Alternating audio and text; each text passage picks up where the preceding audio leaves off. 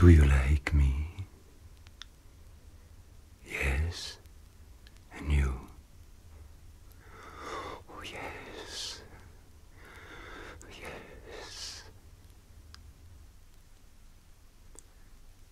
Cuando me quedo solo, me quedan todavía tus diez años, los tres caballos ciegos, tus quince rostros con el rostro de la pedrada y las fiebres pequeñas heladas sobre las hojas del maíz.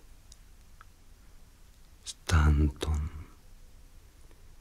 hijo mío, Stanton.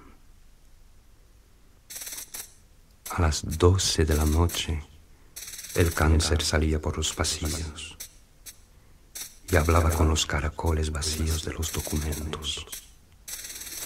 El vivísimo cáncer, lleno de nubes y termómetros, con su casto afán de manzana para que lo piquen los ruiseñores.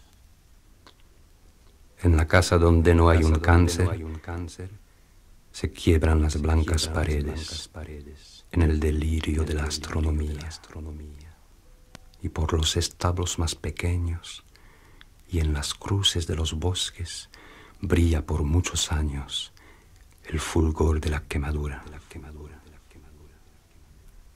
Mi dolor sangraba por las tardes, cuando tus ojos eran dos muros, cuando tus manos eran dos países y mi cuerpo rumor de hierba.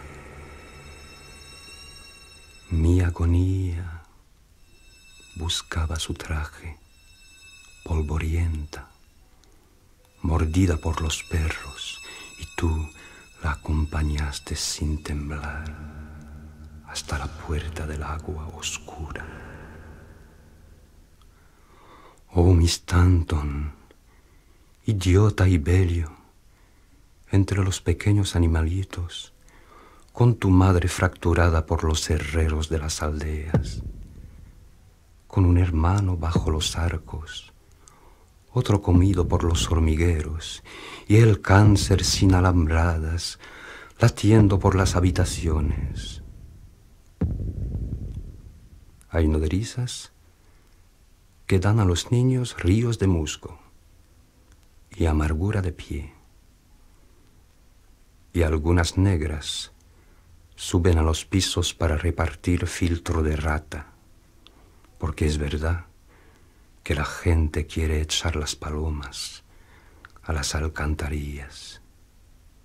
Y yo sé lo que esperan los que por la calle nos oprimen de pronto las yemas de los dedos. Tu ignorancia es un monte de leones, Stanton. El día que el cáncer te dio una paliza y te escupió en el dormitorio donde murieron los huéspedes en la epidemia y abrió su quebrada rosa de vidrios secos y manos blandas para salpicar de lodo las pupilas de los que navegan. Tú buscaste la hierba. Mi agonía, mi agonía. Con flores de terror, mientras que el agrio cáncer mudo que quiera acostarse contigo pulverizaba rojos paisajes por las sábanas de amargura y ponía sobre los ataúdes helados arbolitos de ácido bórico. Stanton, vete al bosque con tus arpas judías, vete para aprender celestiales palabras que duermen en los troncos, en nubes, en tortugas, en los perros dormidos en el plomo en el viento, en lirios que no duermen, en aguas que no copian, para que aprendas, hijo, lo que tu pueblo olvida. Cuando empiece el tumulto de la guerra, dejaré un pedazo de queso para tu perro en la oficina. Tus diez años serán las hojas que vuelan en los trajes de los muertos.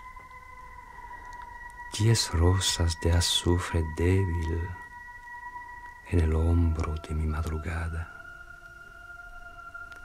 Y yo, Stanton, yo solo, en olvido, con tus caras marchitas sobre mi boca, iré penetrando a voces las verdes estatuas de la malaria.